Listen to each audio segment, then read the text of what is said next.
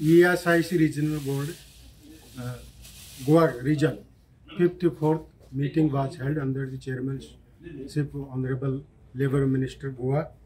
There were so many issues were discussed for the benefit of the beneficiaries in Goa.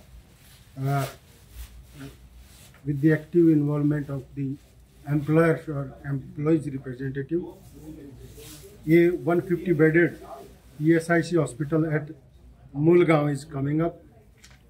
Then five doctor dispensary at Kundam.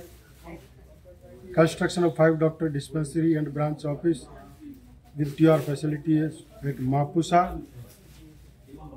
Two branch offices at Varna industrial area, Bicholim industrial area are coming.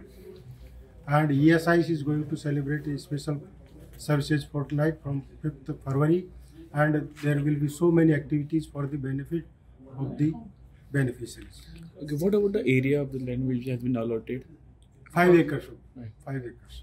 Okay. Already allotted and further uh, procedure is going on. in Mulgaon. In Mulgaon.